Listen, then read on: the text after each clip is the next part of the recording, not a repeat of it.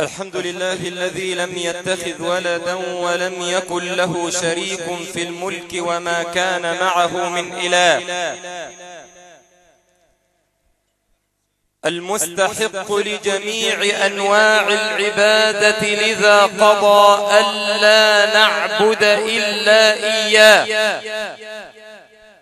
ذلك بأن الله هو الحق. وأن ما يدعون من دونه هو الباطل. وأن الله هو العلي الكبير. وأشهد أن لا إله إلا الله. جل عن المسيل والشبيه والنظير. سئل الحسن البصري رحمه الله.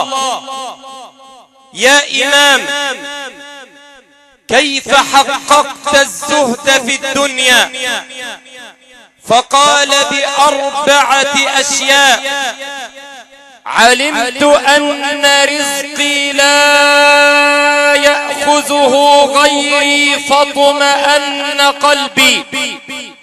وعلمت بأن عملي لا يتقنه غيري فانشغلت به. وعلمت بأن الله مطلع علي. وعلمت بأن الله مطلع علي.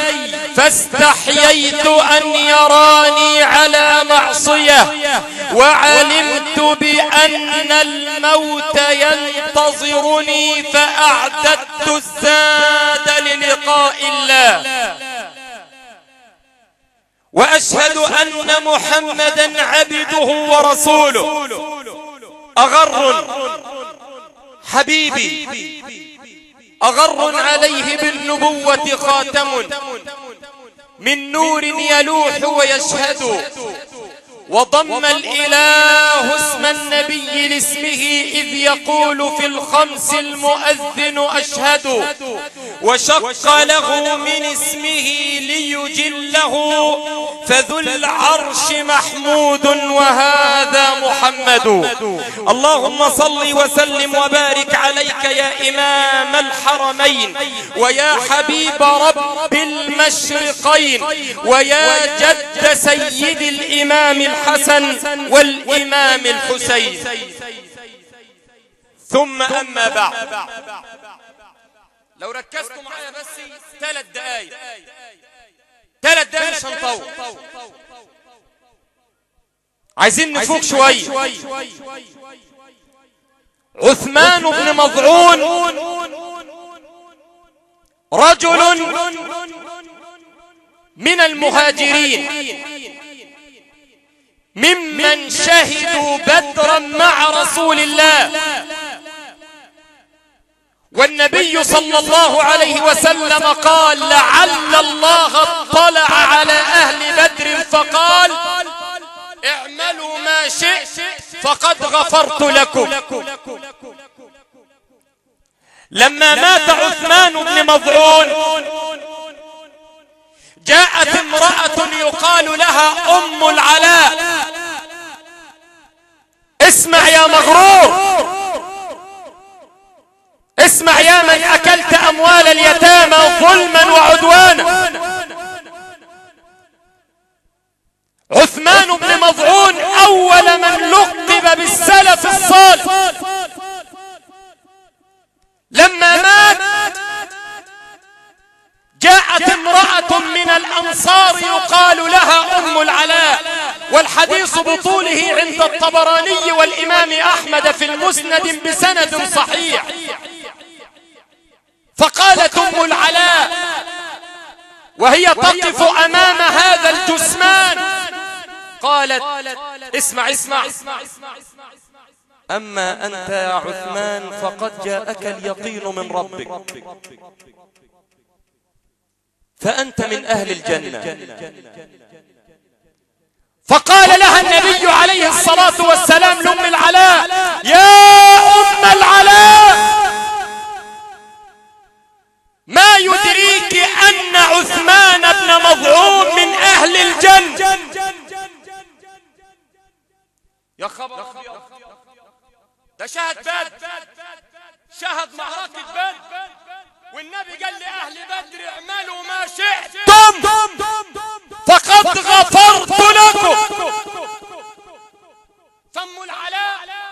بتقول أنت داخل الجنة داخل الجنة. فسيدنا النبي بيقول لها يا أم العلاء من أدراك أن عثمان بن مظعون من أهل الجنة؟ لو واحد زي حالتنا. في الأيام ما كانش عثمان يخش الجنة مين اللي هيخش جورج بوش. شارون. الكفرة. القتلة. الظلمة. المجرمين. المنافقين. الحاقدين. الذين يستهزئون بدين رب العالمين. مين اللي يخش الجنة النبي ما سابهاش اوعى تحكم لحد بجنة ونار!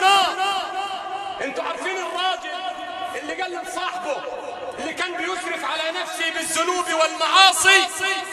قال له توب قبل أن تموت. مفيش فايدة. صلي. مفيش فايدة. زكي. مفيش فايدة. توب. الموت والقبر. مفيش فايدة. اسمع! فصاحبه ما زهق قال له إيه؟ والله العظيم عمرك ما هتورد على جنة. فقال الله عز وجل من الذي يتألى علي؟ مين اللي بيحلف عليه فقد أحبطت عملك وأدخلت صاحبك الجنة.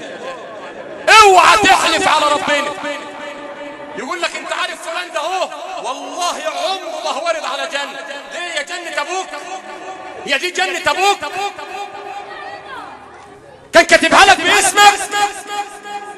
من أين لك تحكم بجنة أو نار؟ اسمع. وأنا عايز أوصل لك دي بس. عشان أخلص. عثمان بن مفعون قالت المرأة يا رسول الله إن لم يكن عثمان بن مفعون من أهل الجنة فمن؟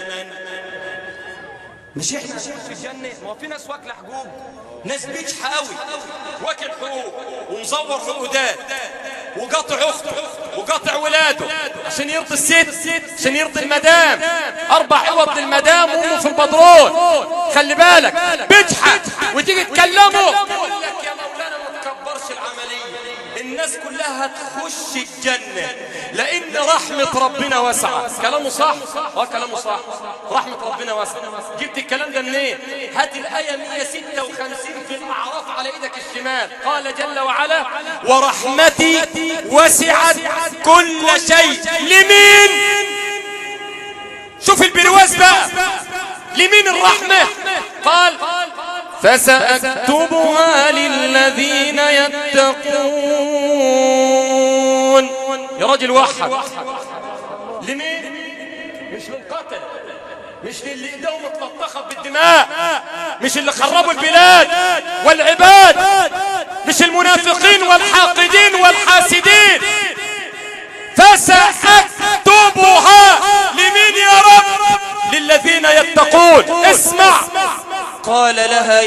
أم العلاء.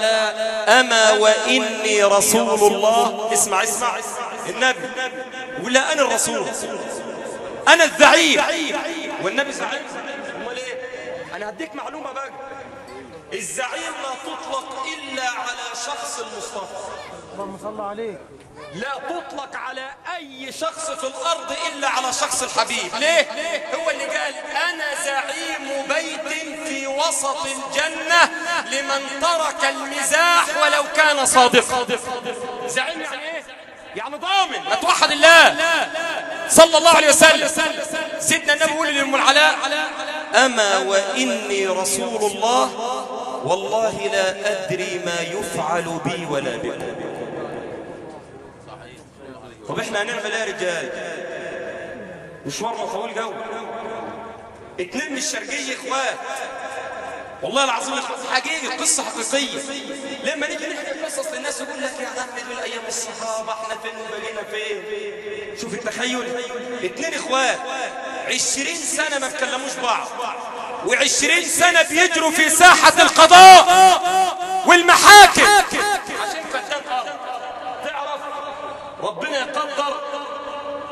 20 سنة ما بيتكلموش بعض وبيجروا في المحاكم عشان فدان. ربنا يقدر الاثنين يموتوا في يوم واحد ويصلوا عليهم الناس في مسجد واحد ويمشوا في مشهد واحد ويدخلون قبرا واحد لأن الذي يدبر الكون هو الله الواحد. عارف بعد ما دخلوا القبر الفدان زي ما هو في البلد. والله زي ما هو هو. مقطعين بعض على الدار كل يوم عاملين شكله في الشارع عشان الدار. اخوات سبع اخوات كل يوم السبعة ماتوا الدار زي ما هي تطلع على ظهره في النحس. والأرض زي ما هي والشارع زي ما هو. فتفوق شوف مكانك. أنت بعد ما الطالب بعد ما اتخرج بالجامعة فكر بعد الجامعة هعمل إيه؟ أخلص جيش. وبعد الجيش عايز أخطب. وبعد ما أخطب عايز أتجوز. وبعد ما أتجوز عايز أسافر.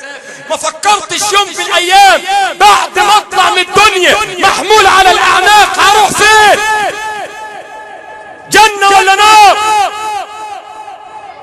أبو بكر الصديق الذي شوه تاريخه من قبل الأقصار قال في يوم من الأيام يا شعرة في صدر عبد مؤمن.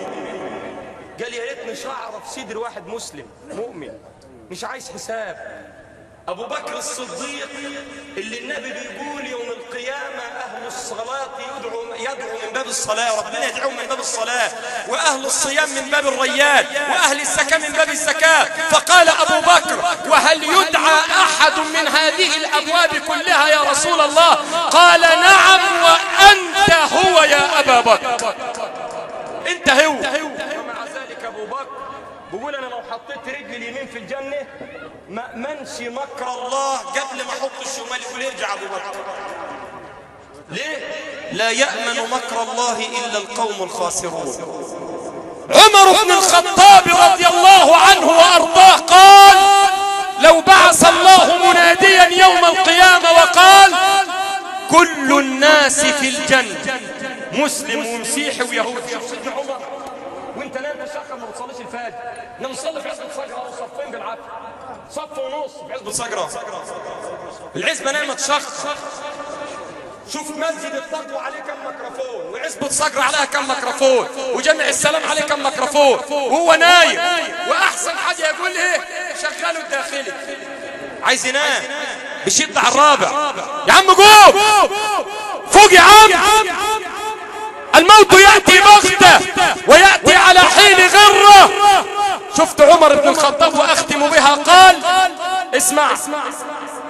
لو بعث الله مناديا يوم القيامة يقول كل الناس في الجنة إلا واحد لظننت أني ذلك الواحد. سيدنا أبو بكر عيانه قاضي لما كان ماسك الخلافة كان رئيس الدولة الإسلامية عنه قاضي سنة سيدنا عمر كان تحت قيادته قدم استقالته ليه؟ مش عاجبك الوظيفة قال لا ما جاليش قضية خالص. يجي سيدنا عمر بقى يشوف مصر فيها كم قضية. ونفسي أشوف واحد مرة رافع قضية على شعوب ولا بوش إنما رفع قضية على ابوه على أمه. على أخته. على أخوه. على جاره. المسلمين بعضهم مع بعض. إحنا عايزين نجدد إسلامنا ثاني. عايزين نجدد إسلامنا. ونرجع لربنا وأختم بهذه الأبيات. يا نفس قل لنفسك كده. يا نفس قد أذف الرحيل. لا يلعب بك الأمل الطويل فلا تنزلن بمنزل اللي هو القبر. ينسى الخليل به الخليل ولا يركبن عليك فيه من الثرى ثقل ثقيل. قرن الفناء بنا جميعا فلا يبقى العزيز ولا الذليل. أيها الأحبة الكرام نحن في عزاء الأم الراحلة الحجة بشرى أم أحمد. اشهد الله في علياء أنها كانت من الصالحات. وكانت مواظبة في سنها ومرضها على درس النساء في مسجد عزبة صقر كل يوم اثنين لا تتخلف. ولما علمت أن هناك درس للنساء في مسجد النوردة مع كبر سنها كانت تذهب كل يوم ثلاث بعد صلاة الظهر لتسمع عن الله ورسوله. وفي ناس قاعدة بصحتها قاعدة في الشوارع نشوف دي جايب اتجوزت دي اتخطبت عمالين يرغم وغيبة ونميمة وأقسم بالله ثم أقسم بالله سيندموا ندما وسعة الندم. لن ينفع الندم إذا وقفت بين يدي الله عز وجل. فهذه الأم الراحلة كانت دائما وابدا. كلما تخطبت خطبة في مسجد حزب صاع على أي واحد ميت كانت تطلع تقول لي دائما هذه الكلمة عقبال ما تخطب علي. دليل على إنها عندها استعداد للموت.